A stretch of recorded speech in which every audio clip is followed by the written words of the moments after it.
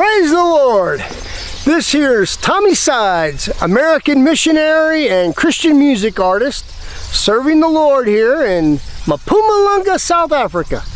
And today I want to speak to you a little bit in the Word uh, concerning the election for 2020. This is the first Saturday of December in 2020 and things are progressing slowly. So we had a little bit of good news this week with that bombshell of a video that came out in the Atlanta uh, situation there. So we just keep praying that more evidence comes out. Amen. Now, the last video that I did, I'm going to leave a link in the description below so you can find that because you'll want to watch that too if you haven't already. I talked about a vision that my wife saw as we were shortly after the election. We were on a, a three-day fast, and uh, so we walked around the lakes here and we're praying and you know seeking the Lord, fasting. And my wife had a vision, and uh, she saw Donald Trump as an eagle being bound with with a heavy chain and six pillars deep in the ground and that that eagle was couldn't budge. He couldn't move until it started to rain. Once the rain came the soil became loose and those pillars began coming out. Amen. And the eagle flew off. And that is indicative of what's going to happen. I really believe that god is going to set donald trump free from all this bondage we just need to keep praying and fasting though praise god because we need to do our part. Just like I spoke in the last video about Esther and how she asked all the people of the land, please pray for me for three days, pray and fast, seek the Lord so that I can go before the king. And, uh, and they did. So if she'd have just fasted and prayed herself, she might not have had a good outcome. But she asked everyone in the kingdom to also join her in prayer. And that's what we need to do. We need to make this a corporate uh, event. We need to pray uh, and seek the Lord. Now, today I want to speak to you about Peter. And there's one similarity that Peter had with Donald Trump. In, in, as far as my wife's vision anyway, that the eagle was bound with a chain, a heavy chain. And Peter, the rock, the man that Jesus Christ himself said, on this rock I will build my church. You know, friends, when the Lord has a purpose for you, all the powers of hell can come against you, and it will be for naught. Because if God be for you, who can be against you? Romans 8:31. Who can be against you? the devil? His demons? the Democratic Party, Joe Biden. It doesn't matter, friends. It doesn't matter because no one can be against you if God is for you.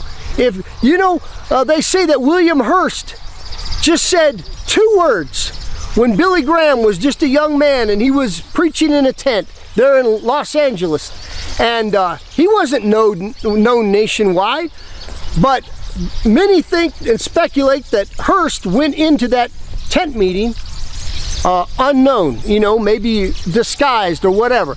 And he was so impressed with, with Billy Graham that he just sent two words out on a teletype to all of his newspapers that he owned uh, throughout the country.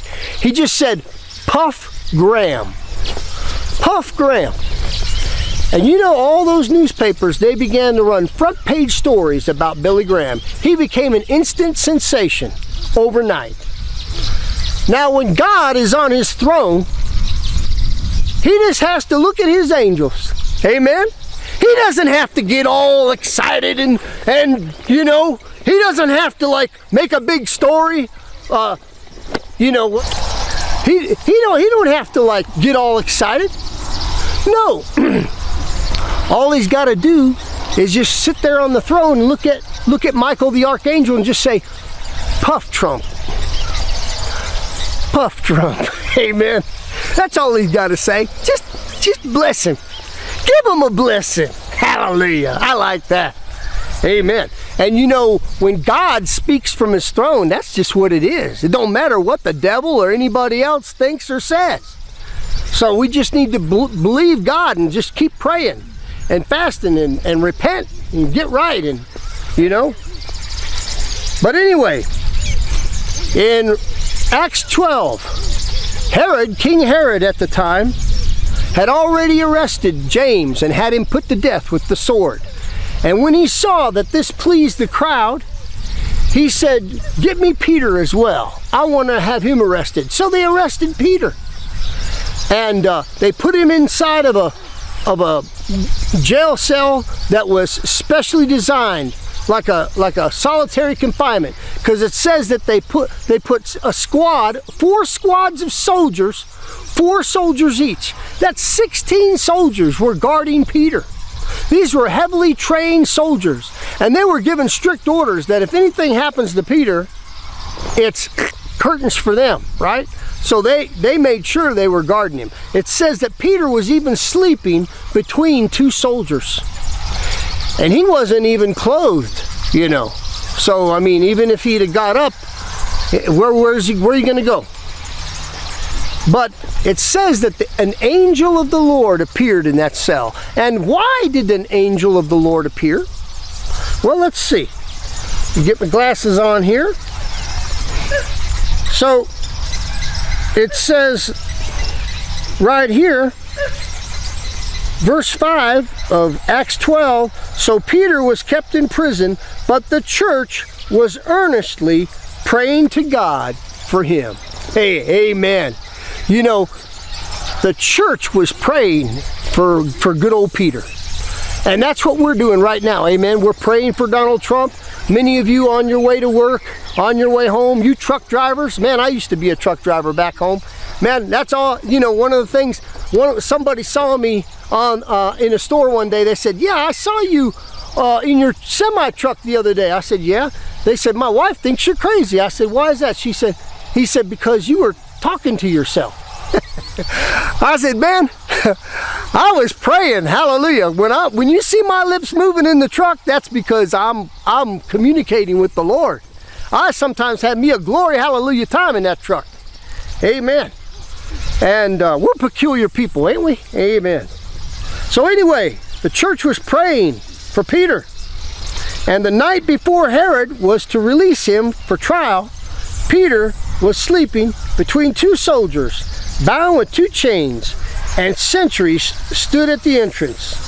Suddenly, an angel of the Lord appeared, and a light shone in the cell.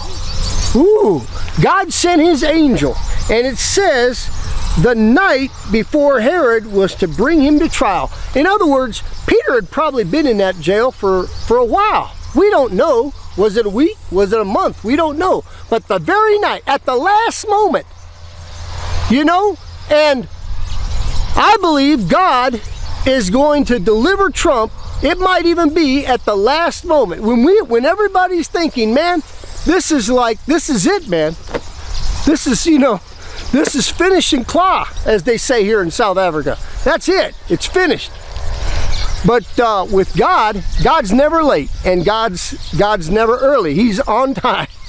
Amen. So with the light in the in the jail cell, the angel, it says suddenly, as the angel appeared and the light shone in the cell, he struck Peter on the side and woke him up.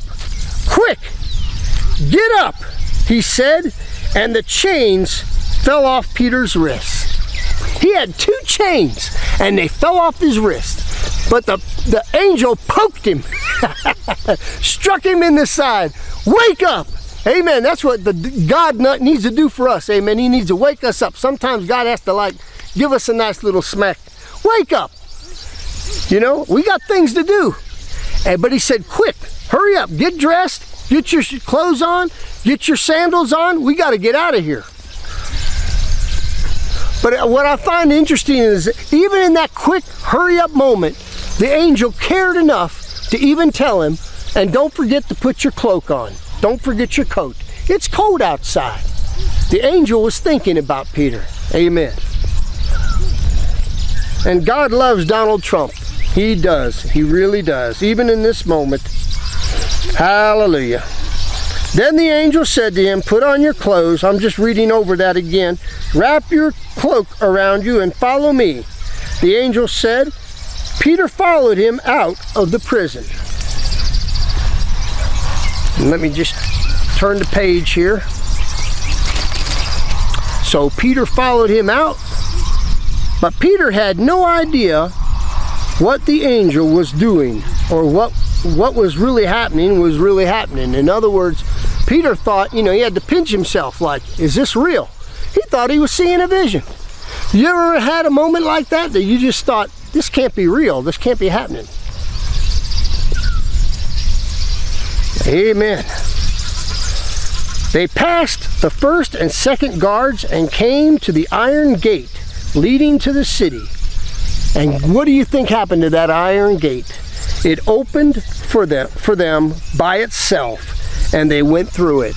Amen. A big iron gate was in front of that prison, and it just opened up by itself. And they walked right through. And when they walked, they, they, they uh, says here that they went about a full city block. And when they had walked the length of one street, suddenly the angel left him. Then Peter came to himself and said, Now I know without a doubt that the Lord has sent his angel and rescued me from Herod's clutches and from everything the Jewish people were anticipating. Rescued me from Herod's clutches. Right now, the Democratic Party and their evil plans of thievery have, have put Donald Trump, they, they think they've got him in, in their clutches, right? They think they got him. They got him bound up they got him tied up. They think they've got they got their plan, they've got it all figured out. But let me tell you something, friend. God is in the deliverance business. Amen. He's in the deliverance business. Praise God. He, can, he knows how to take those chains off. When this happened, and when this had dawned on Peter, he went to the house of Mary, the mother of John, where many people had gathered and were praying. He decided where he was going to go. And in the middle of the night, these people were still up. Probably just had a few couple torches in the house and they were praying by candlelight or whatever, or oil lamp. They were praying, they were seeking God. Oh God, they were praying. Deliver Peter, deliver Peter. You ever, you ever prayed for something really hard, but then when God answered you, finally, you were like, you couldn't believe it? Well, you've been praying for it the whole time. Amen. Well, it says that Peter came and he knocked at the door. And a, a, servant girl, Rhoda, came. Now, it wasn't just the door to the house. It says it was the outer door. So she came out of the house, went to the front yard. There was a, a big wall, evidently, maybe around the, the, the house, because it says the outer door. So he was knocking, and, and she heard his voice. She got excited. She didn't even open the door for Peter. It says that she ran back and she told everybody, Peter's at the door, Peter's at the door. And they looked at her and they said, are you out of your mind? Are you out of your, and it says that she kept insisting, he really is. I heard his voice. And then they said, well, maybe it's his angel. So then they came and they opened up the outer door. Now I like I like one thing. While while she's inside, having this big talk, trying to convince them to at least come to the door. What does it say Peter was doing the whole time? It says right here in Acts 12, 16, but Peter kept on knocking. Amen. I like that. He just kept on knocking. He wasn't giving up. He was just knocking. He was going to knock until that door finally opened. And that's what we need to do. We need to just keep knocking. Amen. Keep knocking and believing. You know, I like that Bob Dylan song, Knock on Heaven's Door. We just need to knock on heaven's door. Keep knocking. Amen. Okay, and so when they, when they saw him, it says that when they finally opened up the door and saw Peter, they were astonished. Amen. They were astonished. I like that word. You know what? To be astonished, it's like, whoa. It's like, wow. Amen. It's like, I can't believe it. They opened up that door. I mean, here is a man that's in a, in a special guarded prison, uh, and he's going to be on trial. The other apostles already been killed with the sword, and they didn't fart around in those days. You know, if they judged you as guilty, you usually got executed that day. So they waited until the uh, feast of the Passover, or uh, says uh, unleavened bread. The feast of unleavened bread was over. That's right. So they waited for that uh, feast of unleavened bread to be over.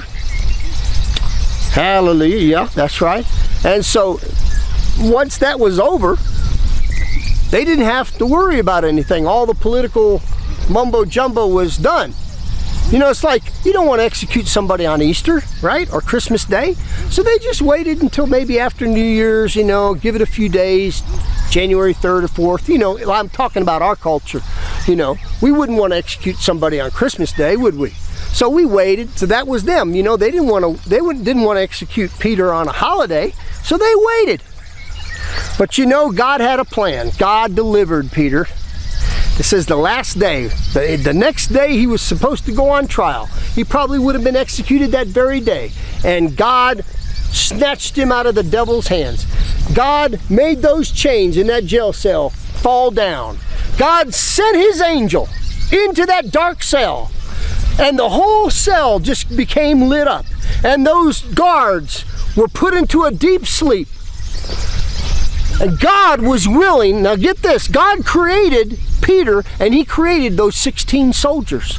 Don't you think those 16 soldiers were, were something that was, you know, God created them. God says, if I even know that so many sparrows fall to the ground, don't I care about you? 16 Roman soldiers. But God had already spoken. Jesus Christ said, Upon this rock I will build my church.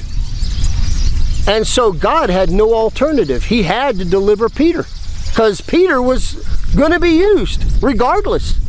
And so those 16 soldiers most likely meant their death. They were probably executed summarily, quickly, because they let Peter go. 16 men lost their lives so that Peter could be free.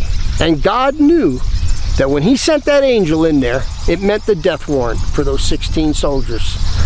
But you know, when God has a purpose and God has a plan for a man or a woman, it doesn't matter. God will do whatever it takes to deliver that person.